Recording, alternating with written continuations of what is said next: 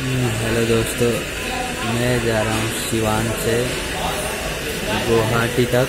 अभी ट्रेन मेरी लेट है, मैं आपको दिखाता हूँ। वो देखिए कवि गुरु एक्सप्रेस।